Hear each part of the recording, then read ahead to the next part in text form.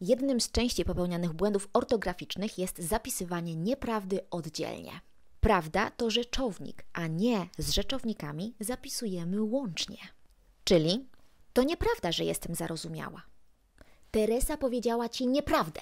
Czasem połączenie nieprawda zapisujemy oddzielnie, ale tylko wtedy, kiedy nie wprowadza nam wyraźne przeciwstawienie.